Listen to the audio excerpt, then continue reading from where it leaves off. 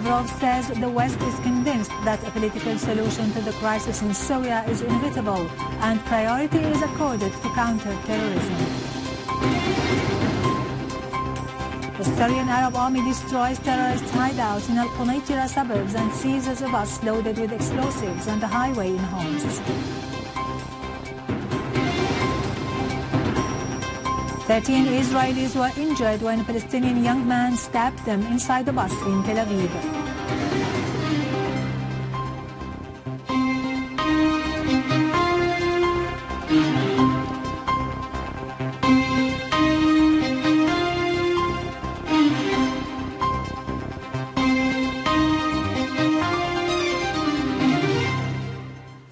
Good afternoon, ladies and gentlemen. This is Irado Krikorian with the news in English. A terrorist car bomb blast hit Ikrima neighborhood in Homs city today. Initial information indicated that the attack, which took place in Al-Hadara street, left civilian casualties.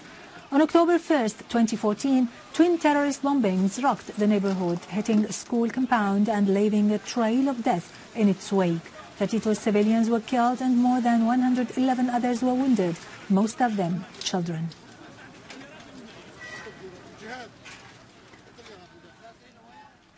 Russian Foreign Minister Sergei Lavrov has said the aim of the inter-Syrian dialogue in Moscow is to prepare for a new round of talks that takes into consideration the mistakes that took place in the previous Geneva sessions. During the annual press conference on the results of the Russian diplomatic work of 2014, Lavrov stressed that what is required is a calm dialogue without any propaganda and an inclusive representation for the sake of finding a political solution. He affirmed that Russia is working for this purpose, adding that this is one of the most important points of the first Geneva statement, which talks about comprehensive representation of all the Syrian components. Lavrov pointed out that the West is completely convinced that a political solution to the crisis in Syria is inevitable and priority today is accorded to the confrontation of terrorism. The Russian foreign minister, on the other hand, voiced Moscow's keenness on a peaceful solution to the crisis in Ukraine on the basis of the Minsk agreement without any foreign intervention. In reply to a question put by our news correspondent in Moscow, Lavrov asserted that the task of combating terrorism is basic in a bid to end the crisis in Syria. He dismissed as illegal the act of shelling positions in any sovereign state at the pretext of eliminating terrorist groups without the approval of the concerned state and the UN Security Council as it is currently happening in Syria. A Syrian Arab army unit has killed a large number of terrorists and destroyed their machine gun-provided vehicles in Umbatina, Mashara and Ofania in Al-Qunaytira suburbs. A military source said the Syrian Arab Army's successive operations, which targeted the hideouts of the Takfiri terrorist organizations linked to Jabhat al-Nusra, resulted in killing a large number of gunmen in Ofania north of Al-Hamidiyah, which yesterday witnessed a series of operations that left several terrorists dead and injured others. The Syrian Arab Army also targeted terrorist gatherings in Umbatina, west of Al-Qunaytira and in As-Samadaniya. 2 kilometers from Al-Ba'ath city. Other armed men were eliminated in Mashara, 18 kilometers east of Al-Qunaytira and Tal al-Hara, where Takfiri terrorists were positioned and were set on assaulting citizens supported in such attacks by the Zionist occupation authorities.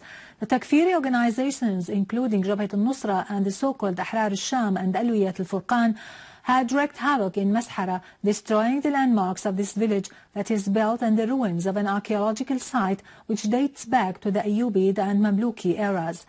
They robbed it of its precious historical artifacts. In Homs, the Syrian Arab Army units also eliminated a terrorist group in Homs' eastern suburbs.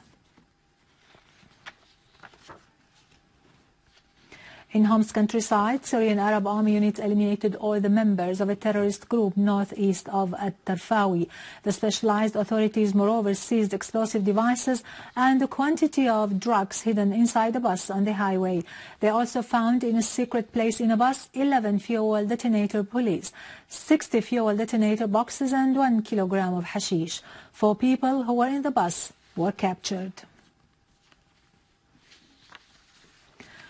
The Monitor website revealed secret documents about investigations carried out by the Turkish army on the disappearance of three trucks affiliated with the Turkish intelligence believed to be smuggled into Syria, which is another proof for the involvement of the Turkish government in arming the terrorists in Syria. The website pointed out that the information revealed prove that all the reports which the Turkish government tried to hide were true about Ankara's destructive role in the Syrian crisis. The information coincided with another report published by this Turkish Zaman newspaper in which a member of the Dutch Democratic Party had confirmed that the Turkish government was directly involved in funding and arming the terrorist groups in Syria.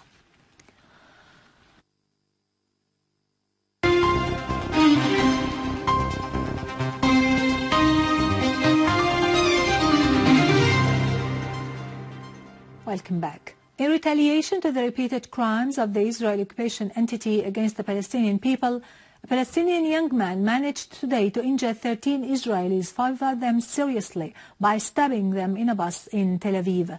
The Israeli news media said the Palestinian young man who was on the bus stabbed the Israelis and managed to escape for a while. However, the Israeli forces of occupation opened fire at him, injuring him before they arrested him.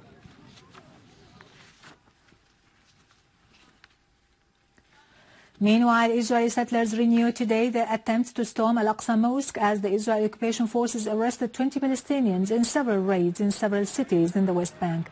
Since the early morning, Israeli groups of settlers tried to storm Al-Aqsa Mosque from the two gates of Al-Maghariba and Al-Rahma, and they were supported by the Israeli forces of occupation. The Palestinian prayers and religious scholars repelled the attacks and fought them. Within the same context, the Israeli forces of occupation arrested today a Palestinian woman while she was going out of Al-Aqsa Mosque from Al-Silsila Gate. Also in Nablus, the occupation forces arrested today 12 Palestinians in an arrest raid in the two Palestinian refugee camps of Blata and Askar al-Jadid east of the city. In Hebron, the Israeli occupation forces also arrested six Palestinians from the two towns of Dora and Beit Amr.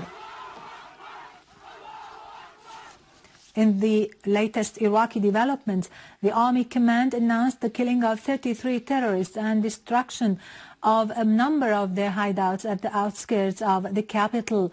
The Iraqi Defense Ministry announced that Iraqi fighter jets targeted terrorist gatherings in the areas of Al Jazeera, Al Badia Samarra and the Tigris River, inflicting heavy losses upon them. Meanwhile, an Iraqi military source in the governorate of Diyala said that three defense lines of ISIL terrorists were dismantled in Al Miqdadiyah, northeast of Baquba, following intensive bombardment by Iraqi forces.